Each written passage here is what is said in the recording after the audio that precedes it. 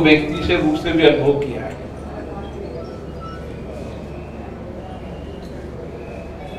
जब कुछ भी कुछ काम करता हूँ तो मैं देखता हूँ कि एक माँ मजदूरी करते हुए एक महीने का, पंद्रह दिन का उसका बेटा बेटी होती है। कई बार मैंने देखा कि पेट पर कपड़ा बाँध कर बच्चे को खिलाते हुए और वो रोज मजदूरी कर कर अपने परिवार को पालने का काम करते हैं। जब कभी आप नज़र से निकालें तो आप देखेंगे कि सड़क के किनारे, सड़क के इधर, उधर कई काम चलते हुए तो आपको हज़ारों महिलाएँ मिलेंगी। जहाँ पर कई माए बच्चा पैदा होने के 20 दिन के बाद ही काम पर लग जाती है। क्योंकि उसको परिवार पालना होता है। और इसी तरीके से खुद भूखी रह जाए, लेकिन अपने बेटे को खाने को मिल जाए, पति को भी मिल जाए, उसके लिए खुद मजदूरी करती है, काम करती है। आपके घर पर भी कई महिलाएँ काम करती है। एक महिला दिन भर में चार जगह काम करती हुई घर पहुँचती है, फिर बेटे को पालती है, खाना बनाती है, खाना खिलाती है। सरकारी या निजी सर्विस में होती है तो सुबह जल्दी खाना बना के जाती है, फिर नौकरी करने आ जाती है, फिर आकर खाना बनाती है। हर तरह के अनुभव आपसे नज़दीक से देखेंगे तो आप पाएँगे और इसीलिए माँ की संवेदना संवेदनशील होना स्वाभाविक रूप से संभालती है कुछ दिनों पहले मन में एक विचार आया कि देश और दुनिया के अंदर शिशु मृत्यु दर, माँ की मृत्यु दर, उसके बारे में बहुत लंबी चर्चा होती है, डिबेट होती है। राष्ट्रीय अंतर्राष्ट्रीय स्तर पर कई एनजीओ काम करती है। उसका जो मूल कारण होता है, वो मूल कारण स्वाभाविक रूप से माँ का कुपोषित होना। अभी कुछ दिन पहले जब जेके लोन के अंदर नवजात शिशु की मृत्यु हुई तो मेरा उन परिवारों में जाना तो मैंने और नज़दीक से देखा कि जितने भी नवजात शिशु या बच्चे जिनकी मृत्यु हुई वह अभाव में ज़िंदगी जी रहे थे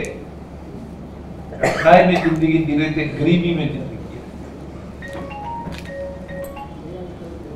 और जब उनकी माँ को मैंने देखा तो स्वाभाविक रूप से मुझे लगा कि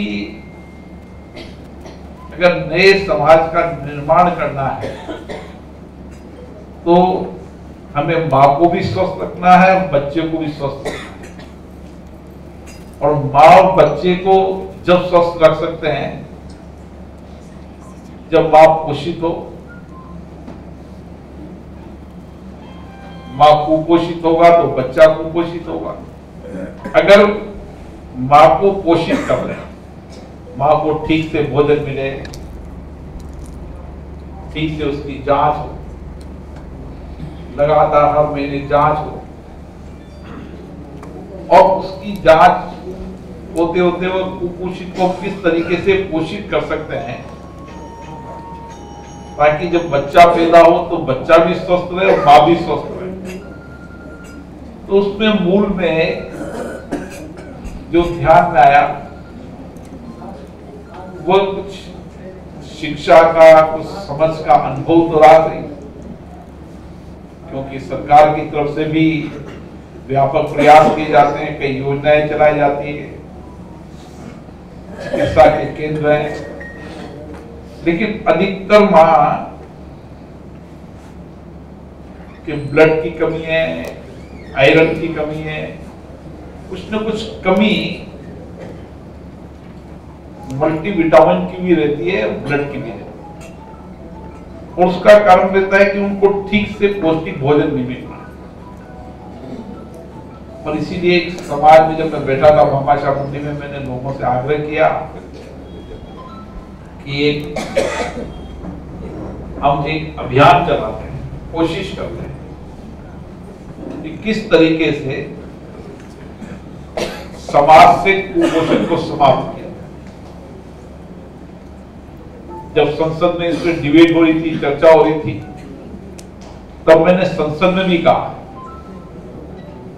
कि ये भारत की संसदीय लोकतंत्र का मंदिर 130 करोड़ जनता का प्रतिनिधित्व करता है।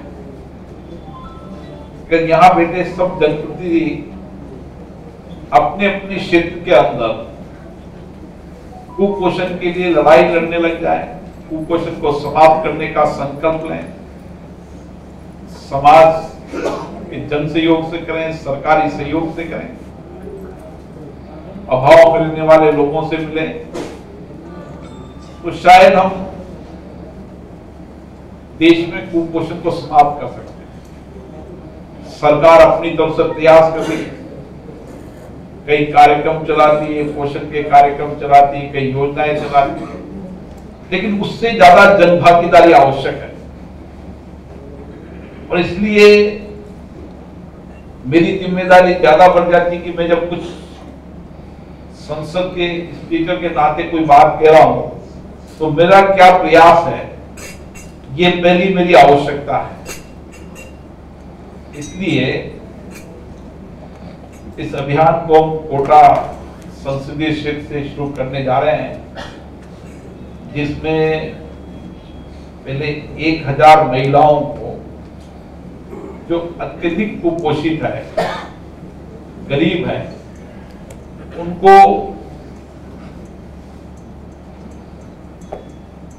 11 महीने तक 10 महीने तक 12 महीने तक एक पर्याप्त भोजन सामग्री, पौष्टिक भोजन सामग्री उपलब्ध कराएँगे।